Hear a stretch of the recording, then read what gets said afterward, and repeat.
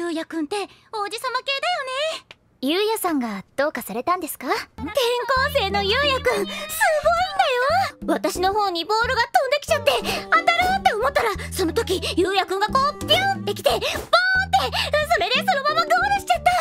人間離れした動きだった。でもあれだけかっこいいと彼女とかいるんだろうね。まだわからないけど。確かにまだわかんないけどどうかね。